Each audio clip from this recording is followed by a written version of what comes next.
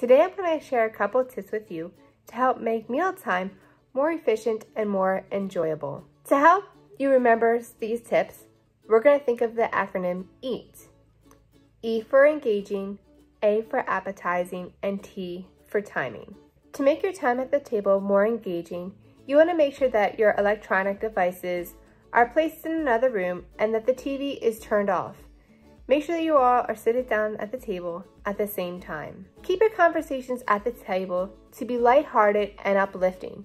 You want it to be a time where your family can come together and share what they learned in school and make it an enjoyable and a relaxing time. You can also have the time where you have trivia cards and you grab them, grab them out of the jar and read these fun questions.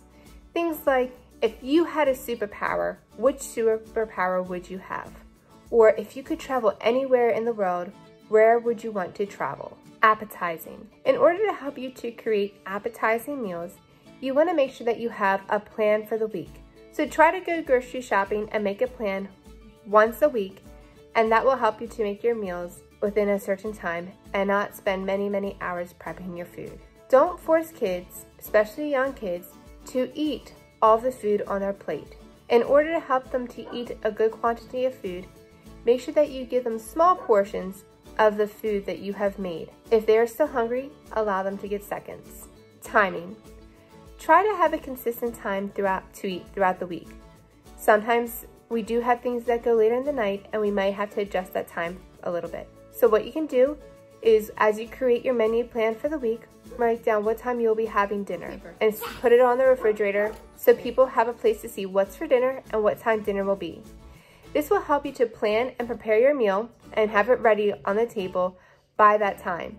It will also help other family members to know and plan accordingly as to what time dinner will be. So that way their products can be finished and wrapped up when it comes to be dinner time. When you go to create your meals for the following week, remember the acronym EAT, engaging, appetizing, and timing. I hope you find these simple tips to be helpful when it comes to making your family meals.